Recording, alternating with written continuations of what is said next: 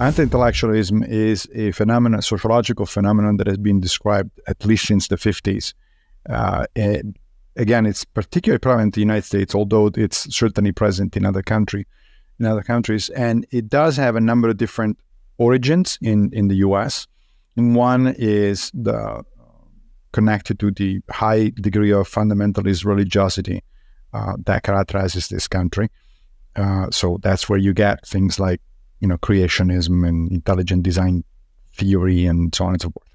Uh, another one is the fact that American society has a, uh, you know, it's, has been built on a pioneer spirit, and therefore the only things that matter are practical, and you know they have to be useful right here, right now, and that implies a disdain for any kind of high intellectual activity, for any kind of things that doesn't have an immediate payoff, and so on and so forth. But this this notion that oh yeah, I can do my own research even though I have absolutely no background in a particular area. That's uh, the sort of naive and dangerous things that um, anti-intellectuals would say. And the problem is that you know, as we were saying in the beginning, it would be funny if it were for the fact that people die as a result of it. Hello, my geeslings. This is Mother Goose Robinson Erhardt here with the introduction to Robinson's podcast, number 116. And this episode is with Massimo Pigliucci, who is K.D. Irani, professor of philosophy at the City University of New York, where he specializes in both ancient philosophy on the one hand and the philosophy of science in the other, because in addition to a doctorate in philosophy, Massimo also has a PhD in evolutionary biology, which is one of the most interesting subjects there is. So, in this episode, Massimo and I discuss the vast chasm or this rich landscape between science on the one hand and pseudoscience on the other. And this begins, of course, with Karl Popper's demarcation problem and whether the criterion of falsifiability so does the discipline make claims that can in principle be falsified by evidence? Is this criterion sufficient to distinguish um, like I said, pseudoscience on the one hand from science on the other. Then we get into a bunch of examples, which is always really fascinating, including SETI, if, which, if you don't know, is the search for extraterrestrial life and where that ought to fit in. And then we turn to some broader questions, such as whether scientists should debate pseudoscientists and conspiracy theorists, which is a is quite topical today or this week the past couple of weeks, the role of public intellectuals in all of this, um, and then how scientists should communicate with the public in the first place.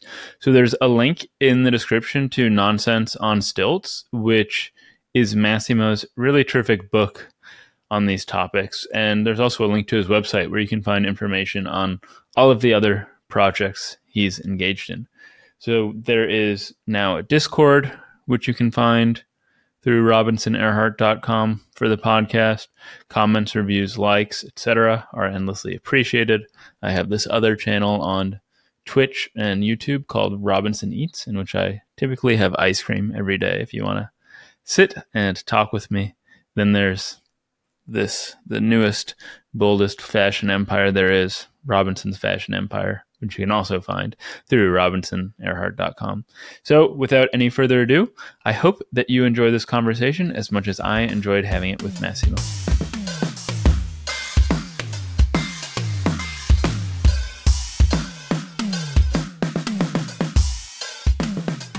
Before we get into pseudoscience proper, I'd really love to talk a bit about why you find it such a fascinating topic and I gather that there's at least two components here, eh, or I'm assuming, in that there's a moral dimension. I mean, you feel a sort of duty to promote bona fide science, especially when pseudoscience can be dangerous. And then I imagine that there's also a sense in which you find the attraction to pseudoscience fascinating on a psychological level. Does this sound right to you? Yeah, I mean, I don't need to answer the, the question further. I think you got it. Um, but let me elaborate a little bit over it. So, first of all, when I was a kid, actually, when I was in junior high school and early high school, I was myself attracted to pseudoscience. So I, I know, yeah, so I've experienced the pool of the mysterious and like, oh, cool, let's read about UFOs and paranormal phenomena and stuff like that. Um, so, so I actually understand uh, why people find it attractive. However, yes, as you say, in the first place, I do think that uh, searching for the truth to the best of our uh, abilities is in fact an ethical duty. It's it's it's a moral it's a moral issue for me, and not just for me. There's plenty plenty of people have have written about this before. In fact, it goes all the way back to uh, the ancient Greco-Romans. The the Stoics thought, for instance, that uh, knowledge is a virtue. It's and so it needs to be cultivated as as such. It's something that makes you better, even in the, even in fact independently of any practical consequence. Just knowing the truth or searching for the truth, regardless of whether it's going to be useful or or not, uh, is a value in in and of itself. And then, of course, there is the additional thing that untruths are often dangerous, right? Um, when I wrote a book on pseudoscience uh, a number of years ago, uh, Nonsense on Stilts, I was often asked, you know, well, why bother? You know, why, why don't you let people uh, who want to open up the horoscope in the morning, you know, have their fun? It's like, what what is the problem? Well, first of all, they, of course, they have the right to do whatever they want, but I have also the right to criticize them for for what it is that they're doing or not doing. But the thing is, a lot of pseudoscience is in fact positively dangerous. It's not just reading the horoscope in the morning and having a laugh about it. That's not a problem. Uh, what becomes a problem is if you don't vaccinate your kids because you don't think the vaccines are a good idea, or what is a problem is if you get HIV and you don't believe, you know, uh, HIV/AIDS, and you don't believe that there is a connection between the virus and the disease, and therefore you're not going to take the medication and eventually die. So you know those kind of things are are problematic. Not to mention, of course, the now always present big elephant in the room, which is science denialism. Um, sorry, climate denialism. So, you know, we're talking literally about planetary consequences in this case. It's not just, oh, well, the person who doesn't believe in science is going to suffer its own their own consequences. That's sad in it enough. But when the consequences become society wise or even planetary wide, then then it's a real big deal. Mm-hmm. And speaking of climate denialism, I was, uh, and I guess speaking about this moral dimension, I was astonished to see that conspiratorial thinking about climate change has brought about literal uh, witch hunts and executions, uh, which I actually saw in Nonsense on Stilts, which parenthetically, I mean, is great. I know you said you wrote it a few years ago, but it totally holds up. And what's a rarity for philosophical books is that I think due to the wealth of examples of pseudoscience and conspiracy theories, it is also extremely uh, entertaining. yes, that well, that's that's the thing. It is entertaining, and if you if you take you know the whole business is is is actually entertaining as well because even if you don't have an in-depth knowledge of science, critical thinking, etc., etc., sometimes it's really hard to believe that some people believe what they believe. It's like you want to say you want to shake them and say, "Really? That's that's uh, that's the way you think about the world." But they do. And so, if you want to look at it at the funny side of things, uh, yeah, it's it's actually pretty funny, but it is a kind of um, comedy that has, unfortunately, nefarious consequences, and that's why it's a it's a serious matter. Mm-hmm. Uh, before we move on, though, to some of the more substantive questions, I am curious.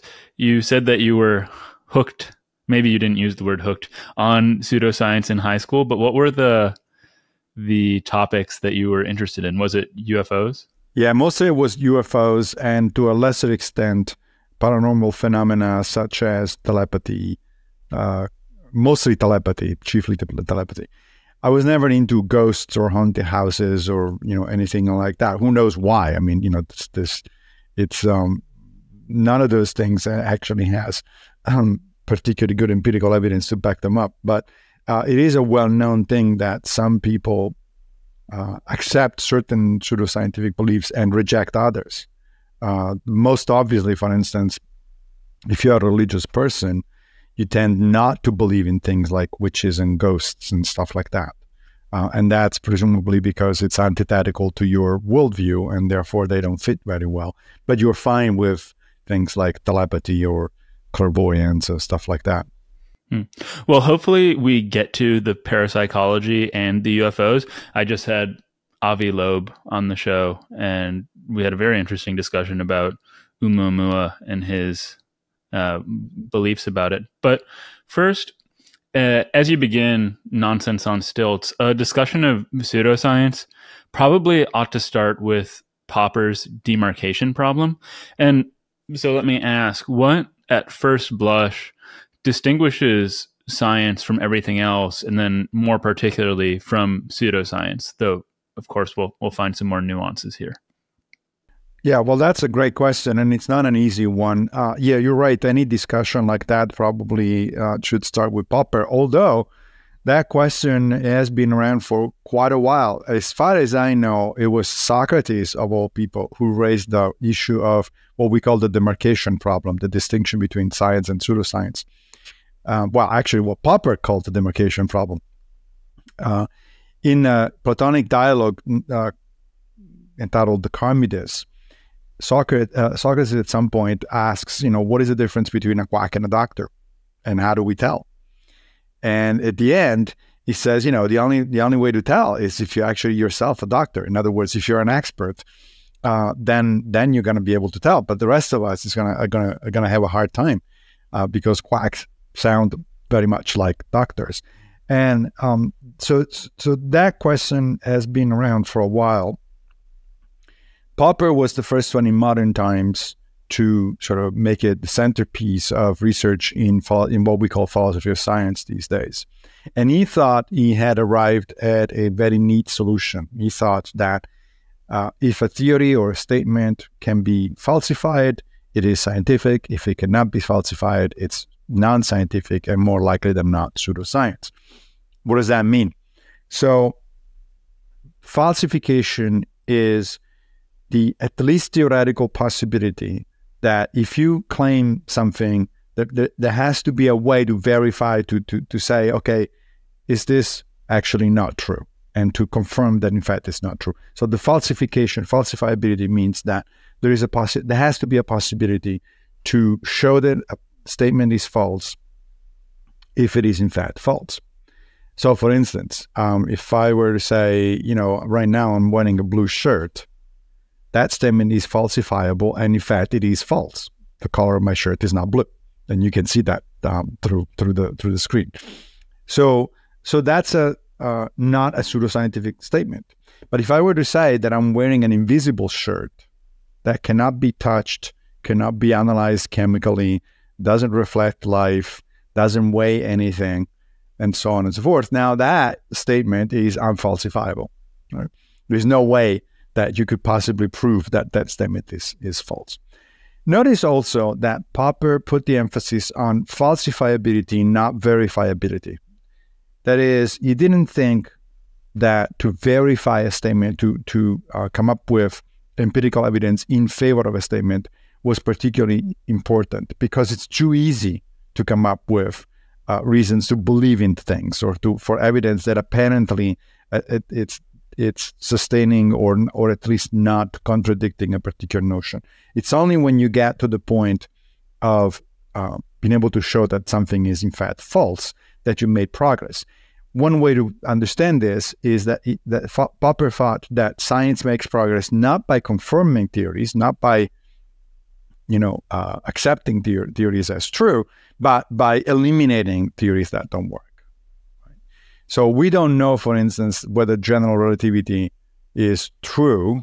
We just know that it works well enough. It has there's a lot of empirical, uh, you know, verification of it, but we don't know if, whether it's true or not. What we do know is that Newtonian mechanics is false, and that's because we have empirical evidence showing that uh, some things that the theory predicts are actually not, uh, you know, not the case, and therefore the theory must be false. So that was gr- that was great. In theory, like he had, he had solved the problems. Like not only he had given a very good definition of science, but it also, by implication, uh, defined, come up with a definition of pseudoscience. The problem is that it doesn't work. Uh, that is, the, the criterion of falsifiability is actually not very um, apt to solve the problem of demarcation. Why? Well, for instance, there are several pseudoscientific statements or, or constructions or theories that are in fact falsifiable. Uh, let's say, let's take um, flood geology, which is a type of creationist, uh, you know, statement about the, the age of the Earth. So, according to flood geology, all the major geological formations in the world, including the Grand Canyon, were uh, created at, you know, were formed at once, uh, very suddenly, and very recently, six thousand years ago, by, of course, a worldwide flood. Well, anybody who knows anything about geology will tell you that that statement is in fact false. It doesn't doesn't go with anything else that we know. excuse me about either physics or or geology. So that statement sounds like a scientific statement, but in fact it's false. So it is pseudoscience, but it is falsifiable.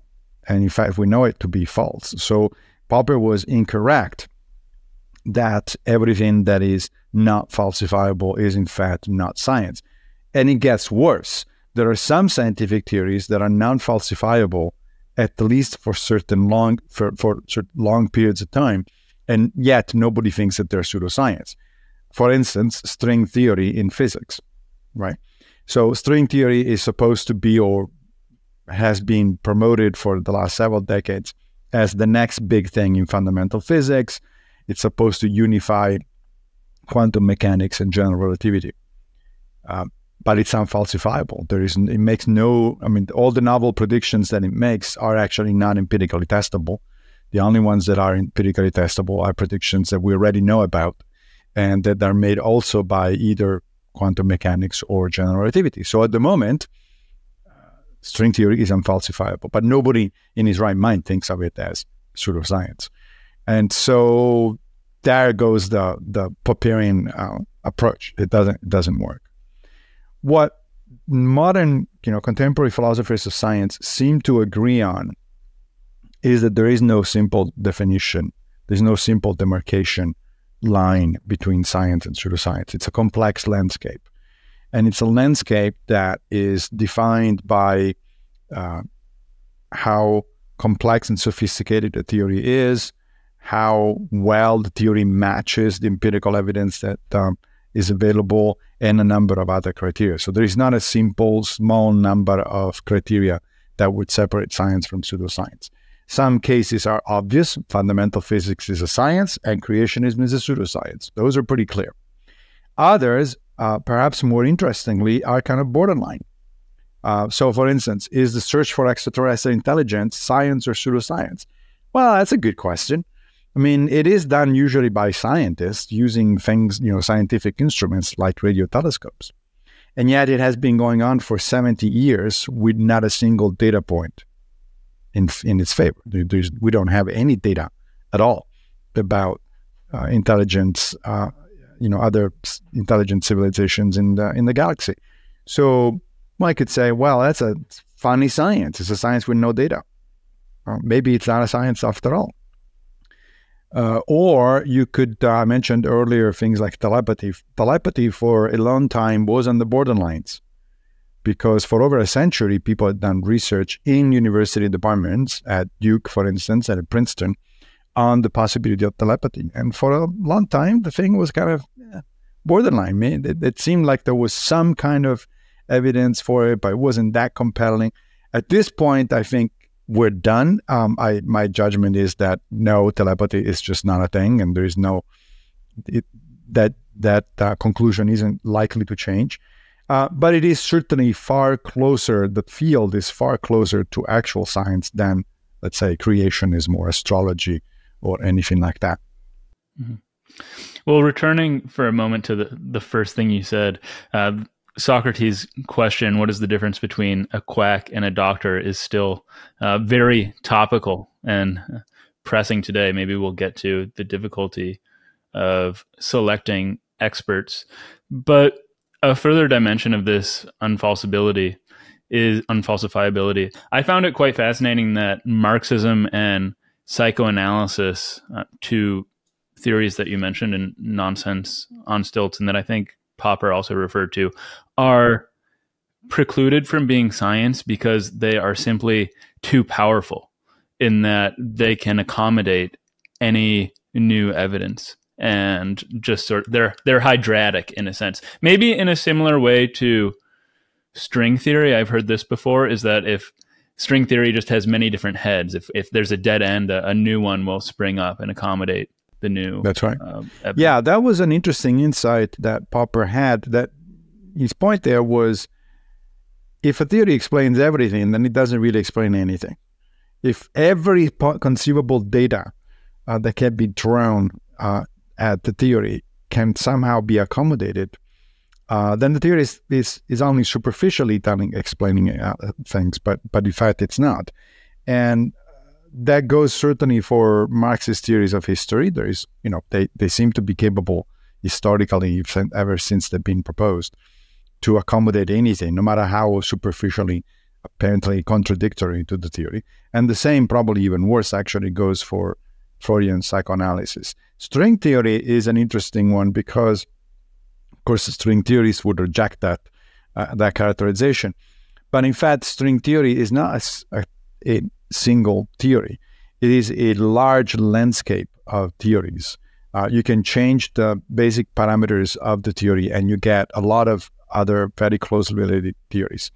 And the last time I checked, the number of string theories out there is astronomical. It's like, you know, into the millions.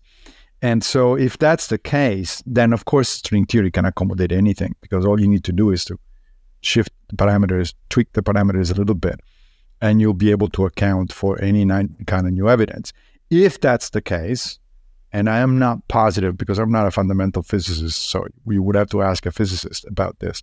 But if that is the case, then yeah, that's a strong case for discarding uh, string theory.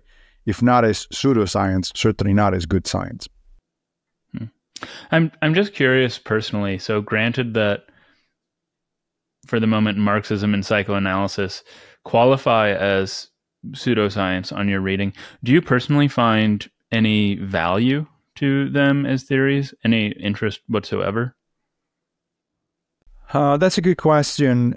Um, I find value in what Marx and Freud wrote, which is not quite the same as finding value in the theories as they've been developed and then later by Marxists and Freudians, right? Excuse me. So you find them more interesting in a sort of historical context, maybe the development of economics or the development of psychology, but less in the sense that they're they should be of any practical use to us now, or they should serve as any sort of guide for us when we think about how history, economics, or the mind actually function? Right, correct. So Freud's great insight was that a lot of what's going on in, in human behavior is the result of subconscious processing of information, subconscious thinking, so things of which we're not aware. Uh, and that is still true. Uh, that's still that's in fact empirically true. What is not empirically true is a bunch of the specifics that he came up with. You know, the, the, the various syndromes that he described, uh, the the actual structure of the of this subconscious, and so on and so forth. Similarly, with Marx, it is certainly the case that economics is important as an historical force. What is not the case is that it is the only or pervasive force that, that everything can be reduced to, to economic or economics or to the struggle between classes. What is not true is that communism is the obvious end of, of history and that sort of stuff. Those, those things are, are out of the question uh, as far as we can tell. But the fundamental insights, on the one hand, that economics is very important historically speaking, and on the other hand, that subconscious is very important psychologically speaking. Yeah, those are those are there. Those are important. Hmm. Okay, well then, returning to the first of those two topics that I, I wanted to get to, which were SETI and parapsychology. So you you've already mentioned that you classify SETI as quasi science, and I I'm hoping that you could put some more color on just why the search for extraterrestrial life gets classified between science and pseudoscience. Is it just because it is sort of open ended and there is it's I guess it's it's unfalsifiable in a sense. Right. So first of all, it is unfalsifiable. Uh, you know, if the statement is there are intelligent civilizations out there, that statement cannot ever be proven false because the universe is essentially infinite, and you would have to search every single nook and cranny in order to falsify that statement. But as I said a few minutes ago, falsifiability by itself, although it's a good guy, it's still a good guidance. It's still a good uh, idea to keep in mind because if something is unfalsifiable in principle, then it, it is problematic. But in and of itself is not sufficient to classify something as a pseudoscience. And as I want to be clear, I do not think that SETI is pseudoscience. I do think, however, it is borderline science. And the reasons I think that is, first of all, because it doesn't really have a lot of a theory behind it. It's kind of an open, as you pointed, it's an open-ended search. Like people point, point radio telescopes out there and, and hope for the best that's not really a particularly you know sophisticated way of doing science, uh, so so to speak. I mean, the SETI supporters will claim that there is a theory, but if you look at, the, at what this theory allegedly consists of, you don't really find a lot of meat. The major theoretical uh, bit of the SETI program has always been the so-called Drake equation. Now, first of all, that's bad news right there because the Drake equation was produced was proposed by Frank Drake back in the 50s. And we're now in the 2020s.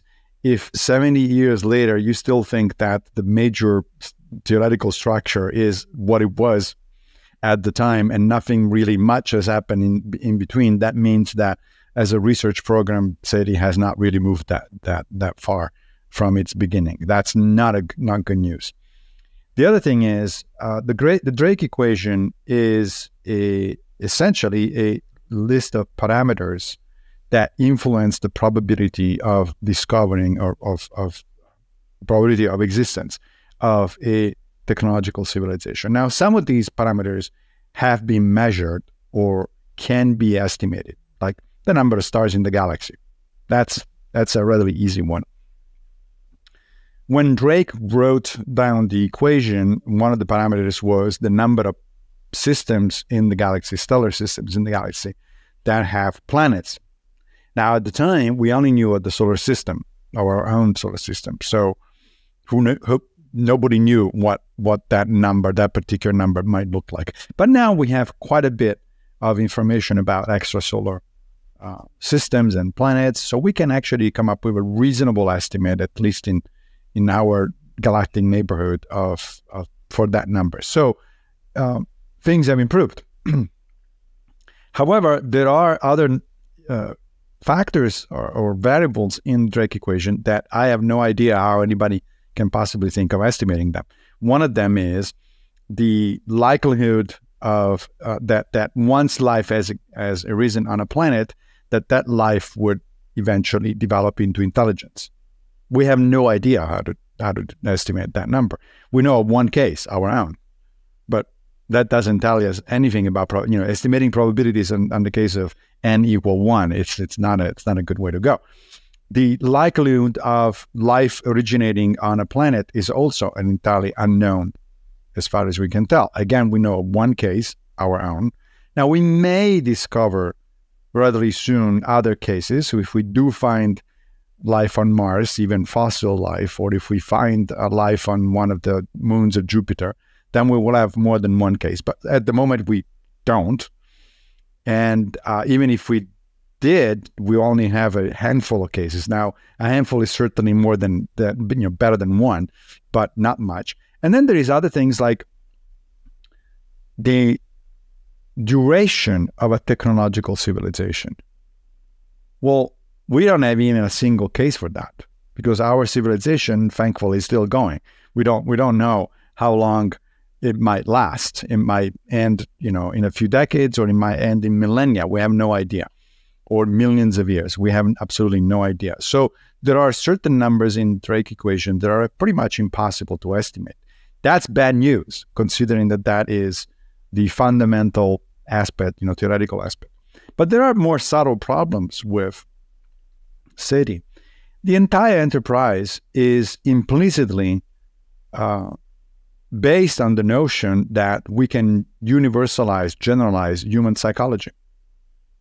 I mean, after all, why would other civilizations want to communicate with us? That's because we want to communicate with them. So we assume that they would want to communicate with us. But there's no foundation for that assumption. It's just a projection of human psychology. Um, what kind of guarantees do we have that anybody is going to else other than human beings is actually interested in developing technologies in the first place? I mean, we don't know. We, we take these things for granted simply because we have done it. But there is no particular reason other than projecting uh, human psychology and human history onto aliens uh, to think that that has actually happened anywhere else in the galaxy. It may or may not. I'm not suggesting that it didn't. I'm just saying that the only reason we think so is because we universalize uh, human psychology. So, in other words, the SETI project is, in a sense, a big uh, example of a, of a gigantic human ego. You know, we, we project the way we think across the galaxy, and we say, "Okay, good. Let's let's find out what, what these people are doing." I mean, even when um, researchers trying to figure out, okay, how do we communicate? We're, they're always going on the basis of assumptions about human psychology. Oh, surely they'll use mathematics, let's say. Surely?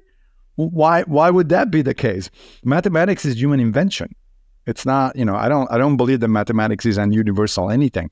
It's a language. It's a human technical language, just like logic. So um, some other other civilizations may or may not hit on the same way of doing things or may or may not think in the same way. We have absolutely no idea. So all of those are serious problems. And of course, the biggest one of them all is that we have no data, no positive data. We have a lot of negative data, but we have no positive data. Now, of course, this conversation we just had could be rendered completely null and void if if the two of us wake up tomorrow morning and read in the New York Times that SETI has discovered, you know, uh, intelligent signals from space, in which case I'll be the first one to open the champagne. I mean, i will be very happy if that kind of thing happens. But if we're talking about the status of SETI as a science, those are all significant problems. That said, I wouldn't classify SETI as a pseudoscience. Uh, I would classify it as a pretty sloppily thought out and and and not particularly successful quasi scientific approach. But but it's not not anything like astrology or creationism or anything like that. Uh, SETI researchers are not violating the laws of nature uh, or anything else that we know from science when they point their radio telescopes somewhere. Do you think that we should not be investing resources in something like SETI? Because it seems to me like even if it's not a rigorous science, it's still a very worthwhile endeavor? That is another very good question. I don't know. When if you asked me that question, you know, 20 years ago, I would have said, of course we should spend the money. Um, now I'm not so sure. Um, SETI doesn't cost a lot, uh, broadly speaking. I mean, we're talking about tens to hundreds of millions of dollars a year, which is sounds like a lot to maybe you and me, but it's not in the general scheme of things. So maybe you can make that argument. You know, look, it doesn't cost much, uh, but at the same time, there, you know, scientific funding is is or funding in general of any kind of human activity is a zero sum game. Uh, unfortunately, you know, we have limited resources. So even if it's not a lot of money, uh, you could still make an argument that maybe hundred million dollars a year should be spent, you know, helping the poor instead of uh, engaging in these kind of things, especially given that we don't really have any idea whatsoever how successful or how likely to be successful this endeavor is. I mean, there are other scientific projects that are far more expensive than uh, SETI, and usually they're justified on the basis of the payoff and the likelihood of that payoff. I mean, I was uh, for uh, years on on panels, grant panels at the National Science Foundation, and boy, that was always one of the questions asked uh, by the panelists to anybody wanted money. You know, how likely is it that you're going to succeed on this? It's kind of interesting to me that people don't ask that question for SETI. Um, you know, so to take one more concrete example, so I, I, already mentioned Avi Loeb. I spoke with him recently, and he's a to recapitulate for those who aren't aware of him. He's a an astrophysicist at Harvard, and I think it was in 2017 this comet Oumuamua came into the solar system, and all of the observations made about this comet were scientifically motivated and, and they noticed many strange things about it. I think its its orbit was off. Uh, it had a strange shape, a strange sort of rotation, and all of these things struck Avi as so improbable that he theorizes it to be its origin to be of extraterrestrial life. I think one hypothesis he has is that it's a fragment of some structure called a Dyson sphere, which is a, a sphere for harnessing the energy from a star, or it can also be uh, a fragment of some sort of spacecraft. And without putting words into your mouth, is my understanding of your position is that while, I mean, all of the tools, so to speak, of science make these observations possible, and Avi's an accomplished astrophysicist, these observations don't license the sort of theories that he has about them, and they shouldn't be called science because this object Oumuamua is now so far gone we can never observe it again, capture it, test it, and the theory is just unfalsifiable in that sense.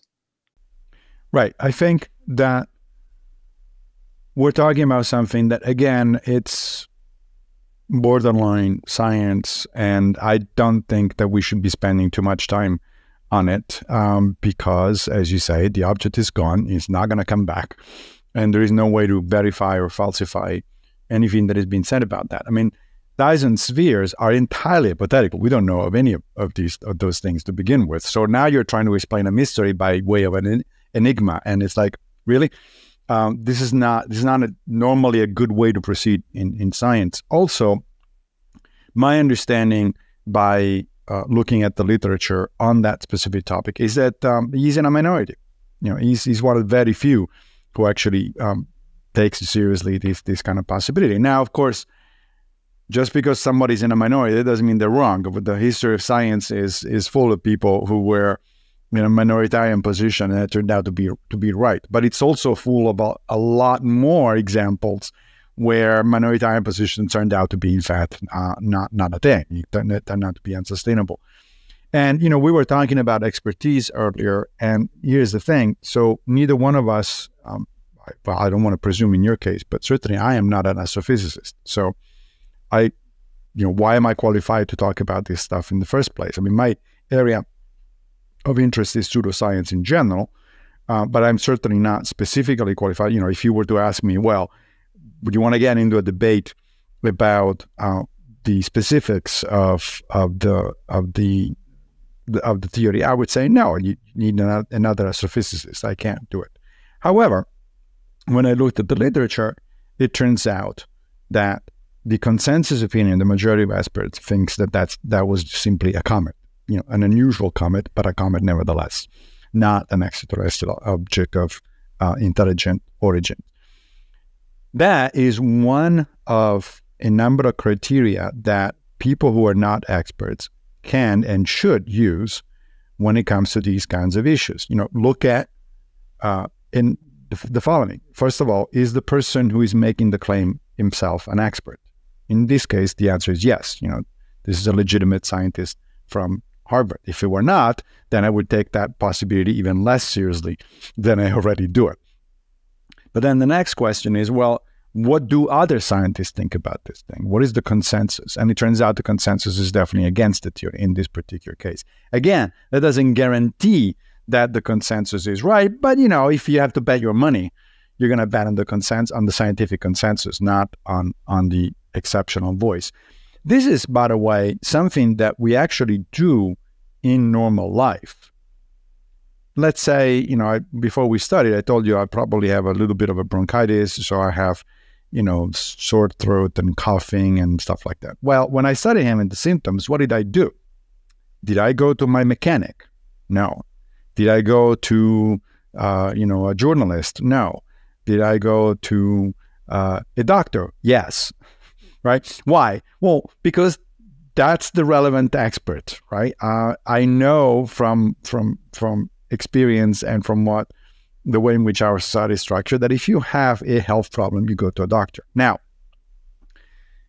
if I wanted to know whether that doctor was is reliable or not, then I have a number of tools at my disposal. First of all, what's the track record of that doctor? Does he get things right more often than not? Um, I can ask. I can start asking around, asking asking other patients, for instance, you know, or my own history. Is that person has that person helped me in the past? You know, as it as it is his suggestions had that they worked out or not? And then if I have still doubt, I'm going to look for a second opinion or a third opinion or a fourth opinion. In other words, I'm going to look for consensus among experts. All of those things we do on a regular basis.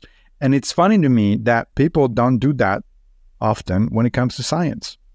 Uh, they go for the lone person or the conspiracy theory or, oh, all of these people, you know, they're scientists, what do they know? But in any other area of uh, regular life, you know, if you I mentioned a mechanic, if you if your car doesn't work, what do you do? You go to the expert. And and how do you evaluate whether the expert is a good one or not? Well, you look at their credentials. You know, that's why both mechanics and doctors have diplomas on their in their offices when you walk in, right? Because those are the credentials that, that show that somebody has checked on these people and yeah, they they are who they claim to be. Uh, you look at their track record, you look at what other people in the same general area of expertise do. So it's kind of very weird if you think about it that a lot of people don't do that when it comes to science. You know, during the pandemic, there were lots of people who say, "Oh, I'm doing my own research." Really? On what grounds?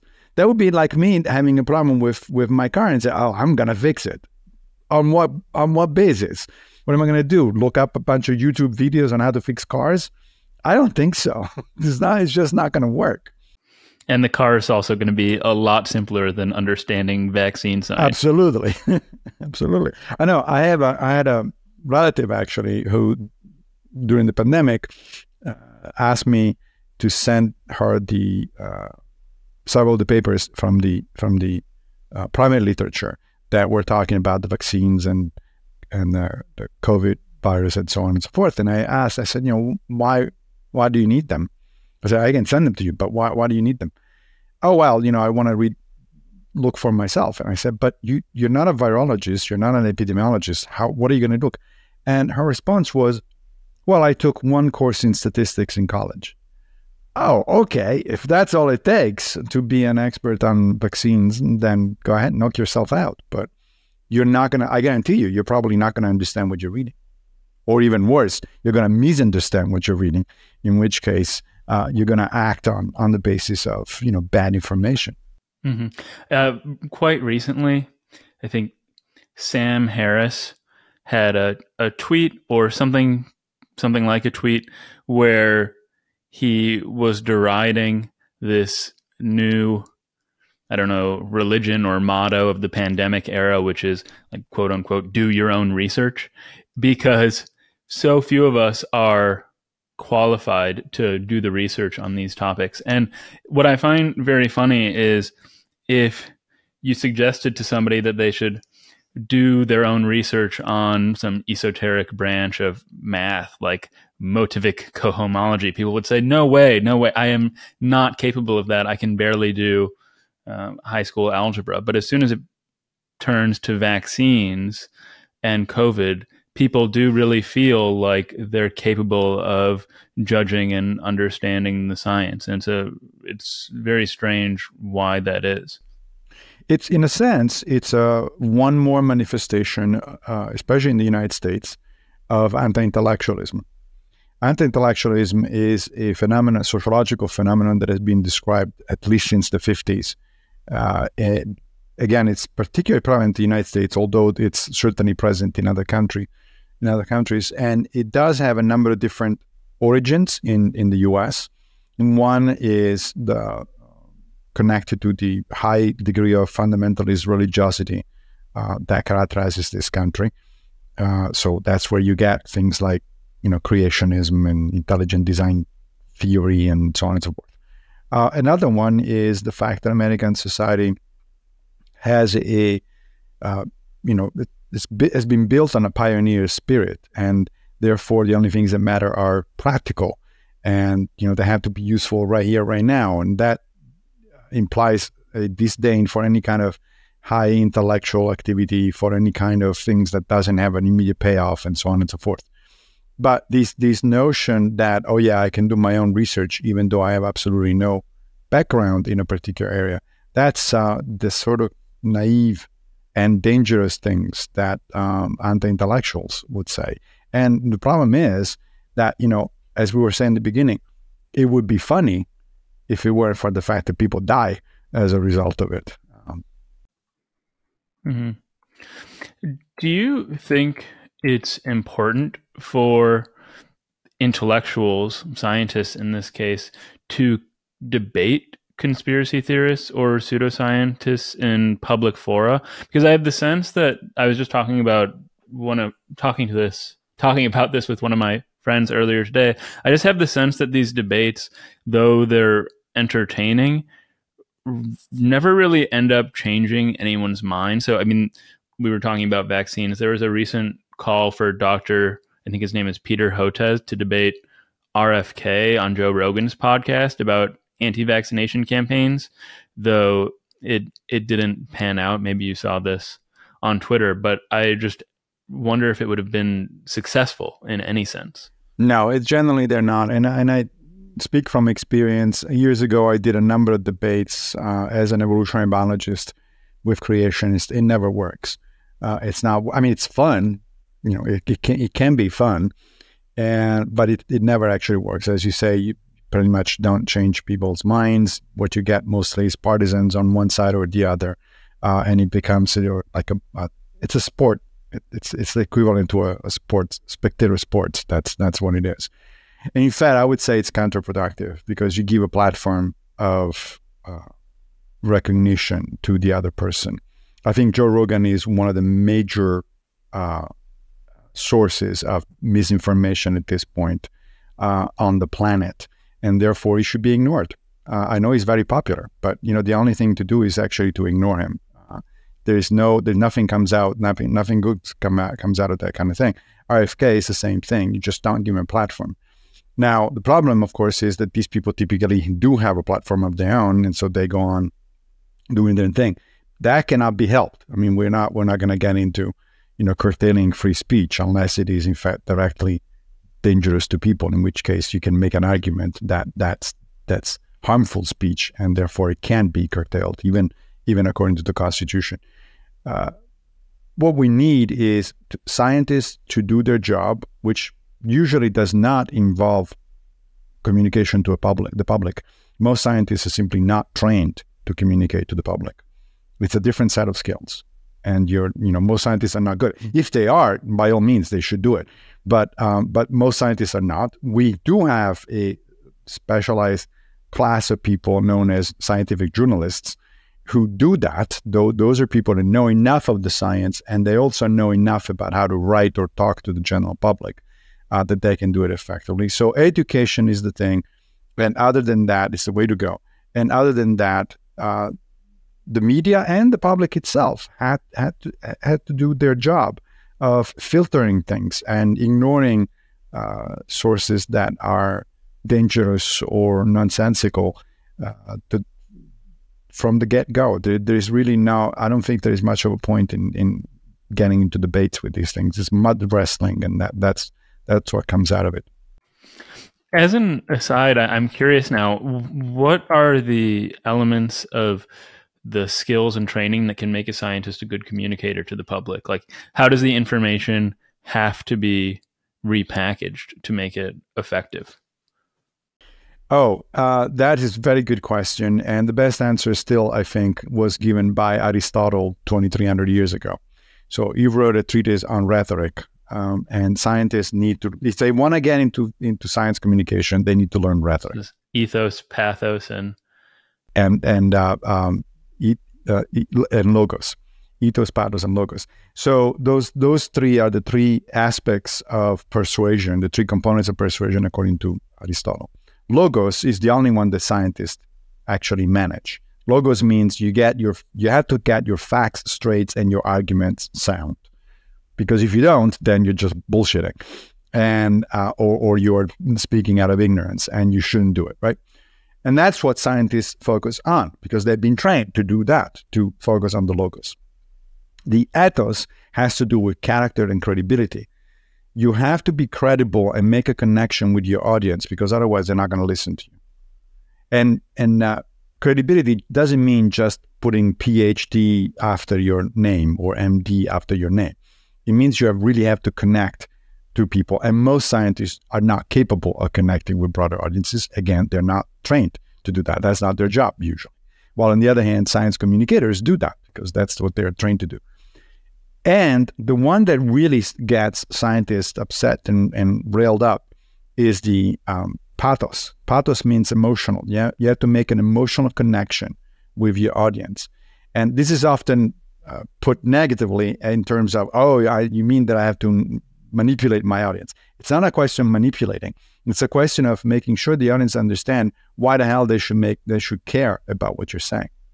You have to make a connection. So you use anecdotes, you use personal stories, things like that, because you want to make the connection. If you just present a bunch of graphs and and and spreadsheets, people are going to zoom out immediately. There's no, I'm going to fall asleep after the third slide with with a graph or or a, or a table on it. It's just like not it's not engaging. So unless if scientists want to do want to engage in that kind of uh, communication to the general public, then they need to be aware of rhetorics. They have to be aware of what they're doing and be trained in what they're doing. And most of them are not, which is why I'm very suspicious of scientists who turn science communicators. Yeah, one problem for the scientist is that the pseudoscientist or conspiracy theory monger also has access to the logos, the ethos, and the pathos. Though maybe their maybe their logos isn't going to be as well informed. But you mentioned telling anecdotes, stories, these sorts of things. If somebody like RFK, who clearly has a great ability to develop uh, rapport with people through interviews, starts telling stories about people who are quote unquote vaccine injured, that is immediately going to to uh, evoke sympathy from his target audience. And Peter Hotez, well, I guess he can tell stories about how vaccines have saved people's lives, but it's just a fundamental fact of psychology that we're extremely loss averse. And if we hear one story about a child becoming autistic purportedly from a a vaccine that's much more painful or damaging to us than is the story of a thousand children who are uplifted out of sickness from a vaccine. That's right. That's that's correct. Now, however, the difference you just pointed out that is RFK doesn't have the right logos. That's fundamental. That's important. That is why uh, you know he's wrong presumably I you know and and uh, and scientists tend to be on the on the right side of things. But yes, of course, everybody can use the other two components of Aristotle's uh, rhetorical advice, and that is why it's very difficult. That's why it's it's a it's an art that requires serious application. Now, look, I think I won maybe a couple of debates in my career against creationists, and in both cases was because I punched below the belt. And I had, in fact, once I realized that, I had no compulsion whatsoever in doing it. What constitutes uh, punching below the belt against an anti or a creationist? Character assassination, for instance, which is one of the things that Aristotle says you should do. You should undermine the credibility of your opponent. In both cases, that's what I did. Uh, in one case, uh, Duane Gish was the my opponent. He's, he died a few years ago, but he was a big deal in uh, the Institute for Creation Research. And he was doing lots of debate, like hundreds of debates a year. He was a professional debater. However, one day I caught him lying. He presented a slide with a quote from Stephen Jay Gould, the noted evolutionary biologist, and it looked like the slide was implying that Gould didn't believe in evolution, which I knew couldn't possibly be, be the case. now, I didn't know where the slide was coming from, so I made a, I just made a note and I said, "Yeah, I'm going to look it up and see, what happens." I did find the quote, but I also found that the quote ended with a comma, after which Gould said, "But of course, nobody in his right mind believes that kind of stuff." Period. So it was obviously a manipulation of a quote out of context. And then, okay, fine. So I made a slide with the full quote from Gould, and I knew that I was going to run into Gish again, which I did a few months later. And he pulled up exactly the same slide because when you do hundreds of debates a year, you don't have time to update your stuff. You just, it, it, it becomes, you know, you, you always give the same spiel. Uh, and when he got to that point, I thought, ah, I got him. And sure enough, I showed the slide with the complete quote. He got really upset uh, he started saying things like, "Oh, I, I cannot possibly quote the entire book." I said, "Well, maybe not the entire book, but you know, the entire sentence, perhaps it's you know something that you could you could manage." And afterwards, several of his supporters came to me to thank me, and they were uh, surprised and disappointed that uh, Gish had to, you know, rely with with that kind on that kind of trick uh, in order to make his point. So there, I made a dent. Um, and it was because I, I basically went not after the facts, but after, after scientific facts.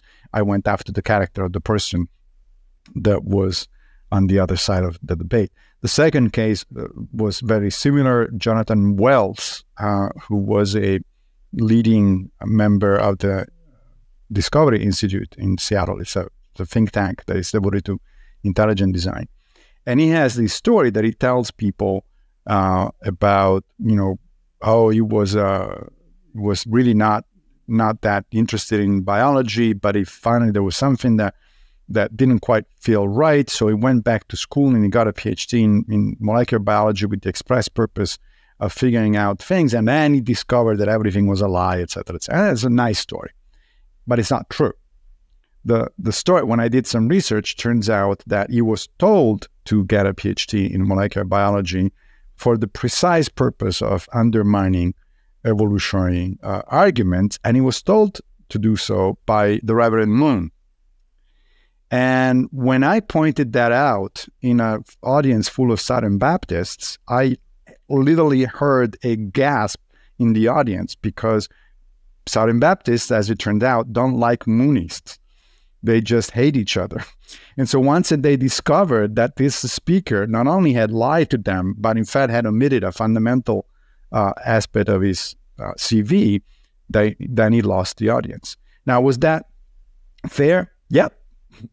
because you're li- if you're lying to your audience, uh, it is fair game for for your opponent to point that out, to undermine your ethos. That's that's what we're, that's where Aristotle was right. But most scientists wouldn't do that they would, you know, go high and go above uh, above the fray and just you know, stay on the high road and all that sort of stuff. And I say, bullshit. This is not. It's not going to work.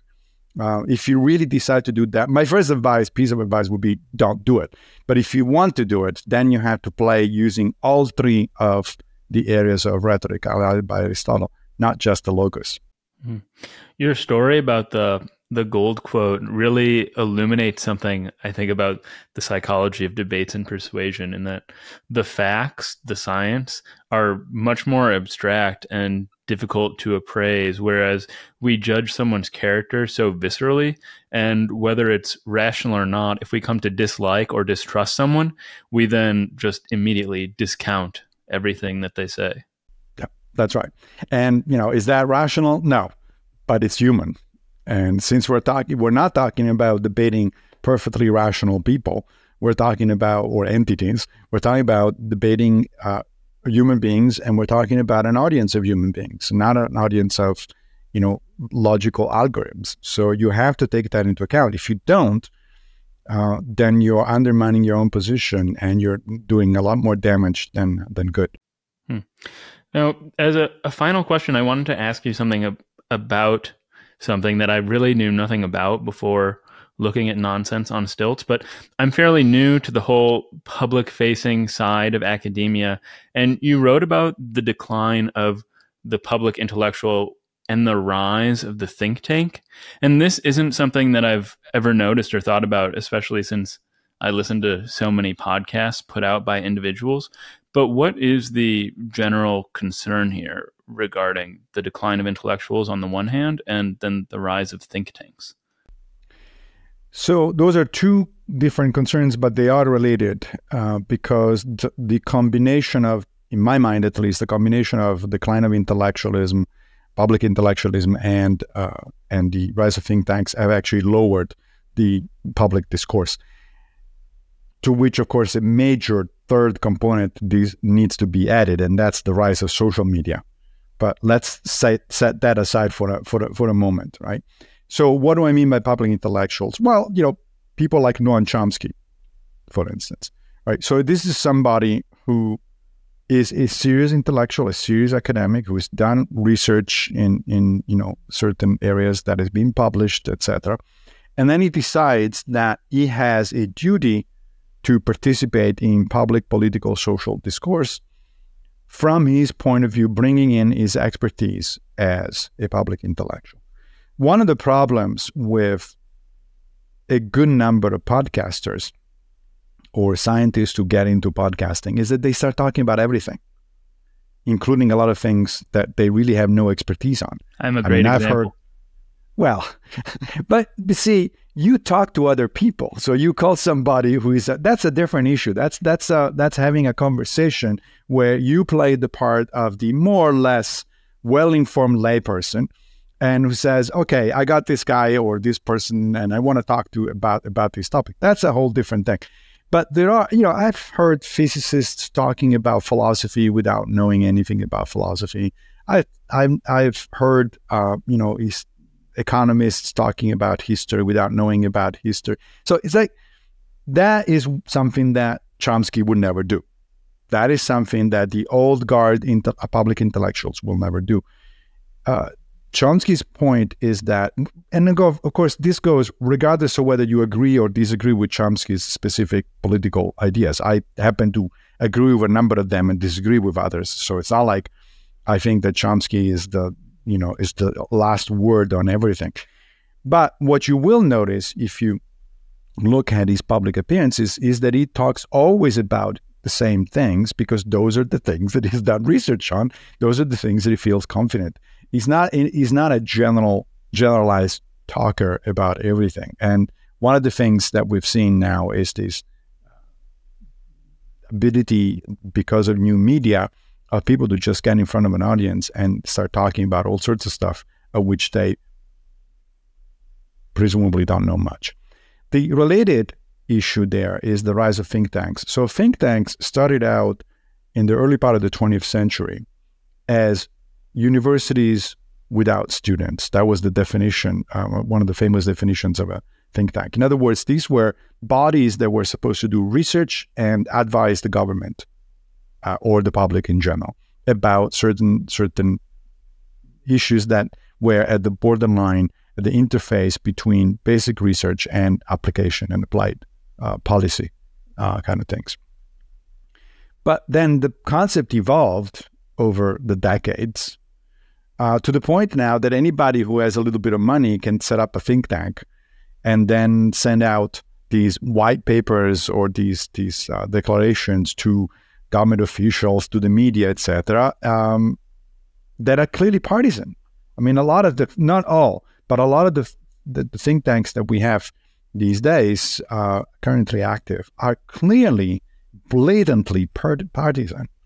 And so when and they've made inroads not only in government, you know, by pretending to be research. You know, the, the whole point about doing research in an academic setting is that you're supposed to be doing it from a neutral perspective, politically speaking. Now, of course, that's an ideal. No, nobody is completely neutral on anything, right? But it, there is a difference between being human and therefore ha- having opinions on the one hand, and being blatantly and overtly partisan on the other hand, having an obvious partisan agenda on the other hand. And so these days, like, you know, when I listen to national public radio and they introduce, oh, so and so from the Heritage Foundation, I turn it off.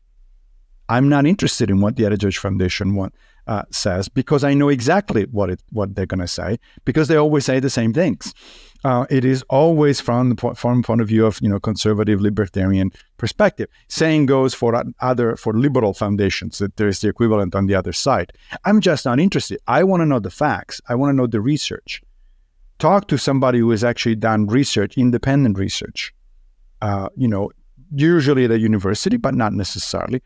And I want to know the opinions of multiple experts who have actually worked on that thing, and then I want to know what policymakers think of making out of those facts and and and and scientific opinions. I'm just not interested in essentially uh, partisan spinning of of of those of those issues. It's just not it's not helping public discourse, but unfortunately, it's happening more and more. Hmm. Well, Massimo, this has been such a pleasure. I know that another of your great interests is ancient philosophy, and it's applications today as evidenced by the many times in which it came up. So maybe at some point in the future, we'll be able to delve into those topics. But for now, this was such a wonderful conversation. Thanks for joining me. It has been a pleasure. Thanks for having me. Hold on, Geeslings. Before you go, please uh, like, subscribe, follow if you haven't already. Smash all those buttons. And also, if you haven't followed me on uh, Twitter at Robinson Erhardt or if you're not joining me every morning as I eat my pint of ice cream on Twitch at Robinson Erhardt on Robinson Eats, please do so.